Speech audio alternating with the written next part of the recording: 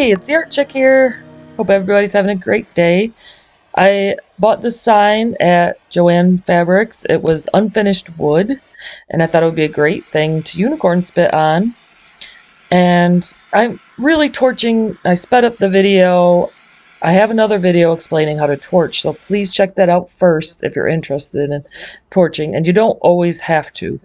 Uh, right there, I was explaining that the rope is already glued on, and you could torch it and it would catch a little bit on fire, so just be really careful or just skip that back part right there, and you could just unicorn spit it the way you like. Today I am working with a few colors. They will all be listed down below in the description. Um, it's kind of going by too fast, but yeah, I wanted to try different colors, uh, combinations. I kind of, I love the blues, you know, but this is more like, it's kind of like a sunset, but not exactly. Um, quite rainbowy, beautiful, and I didn't add any wood, or I didn't add any water to the unicorn spit, but I wanted a purple, and I do not have purple on hand. And so I, you can just mix them. You just mix them both, and that's fine. Unicorn spit works great with that. I did not spray the wood with any water first. I wanted to really soak in, but you'll see later on um, how I still get the unicorn spit to um, be a stain and show through all that burning because you want to see that. Uh, you want to see both, really. and this is, I would say, it's not really a sloppy way, but let's say you can do it pretty fast, even though this video is sped up. But you could lay it down pretty fast and still have some nice blending, as you'll see. So I'll let you watch, and I'll cut back in when needed.